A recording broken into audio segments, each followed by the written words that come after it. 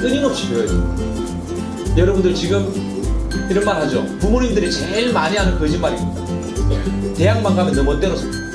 늘 정진시키기 위한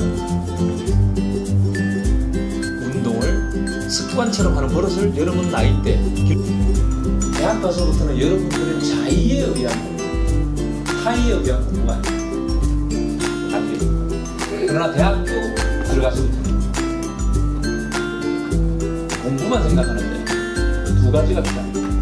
뇌를 발전시키는 지식 공부도 필요하지만 두뇌 수준, 머리로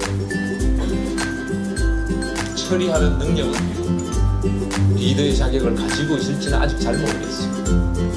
그것은 끊임없이 그러나 통찰력과 소통을 키우기 위해서는 감성이 없으면 안 됩니다. 그래서 가슴이 굳은 자는 리더가 될 수가 없습니다.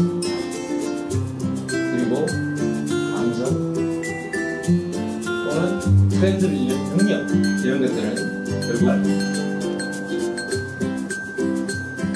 여러분들이 억지로라도 하는 노력이 필요합니다. 그래서 여러분들에게 취미를 물으면 그 초등학생이라고 해서 굳지 않는 게 아닙니다. 여러분들 초, 초등학생도 자기가 노력하지 않으면 사람은 상실하기 시작합니다. 잃어버립니다.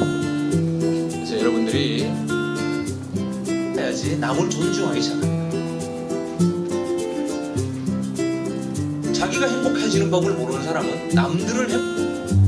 자기 감성이 발달되어 있고 자기의 취미를 존중할 줄 아는 사람은 다른 사람의 취미도 존중합니다.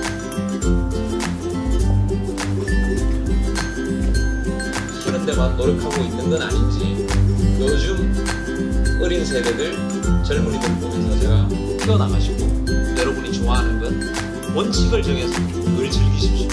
그러면서 본인이 늘 행복해요.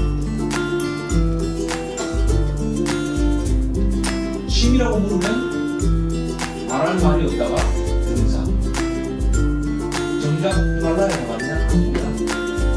수강인데도